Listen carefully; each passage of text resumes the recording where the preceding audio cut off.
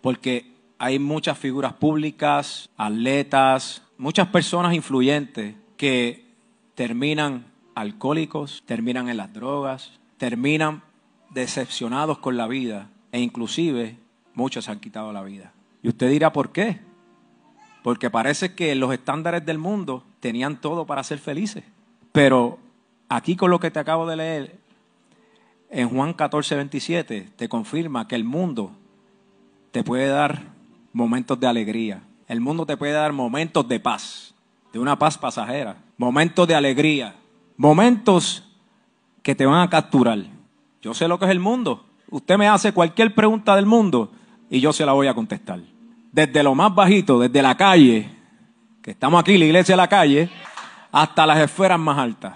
Y algo he aprendido, que solamente hay una verdad. Y se llama Jesucristo.